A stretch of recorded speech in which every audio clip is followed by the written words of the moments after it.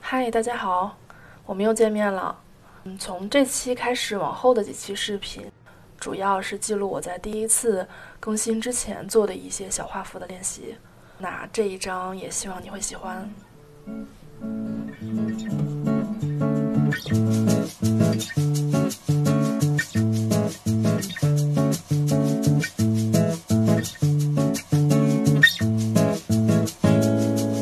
小尺寸的练习稿，主要是在有动态参考的情况下直接画出线稿。因为我在之前的创作过程中，为了避免画面出现大的结构性的错误，总是习惯在经过几遍草稿的概括才会定稿。那这也让我的速度减慢了很多，所以我决定先进行速度练习，在速度提高之后再继续进行创作。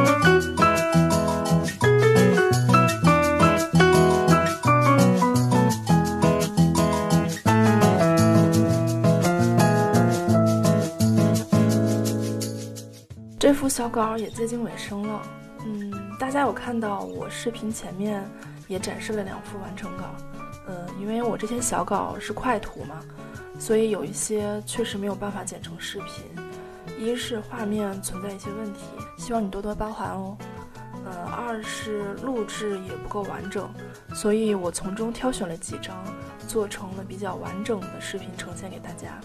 当然，如果你喜欢我的视频，那就关注我吧。后期我会逐渐提高我的更新速度哦。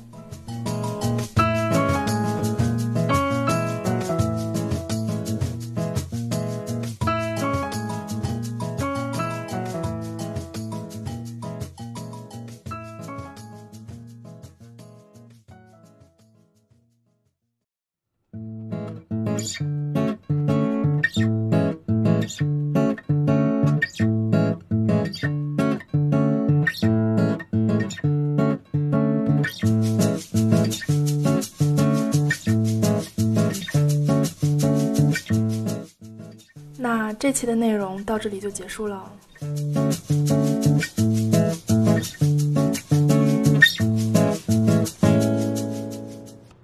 谢谢你的观看，我们下期再见。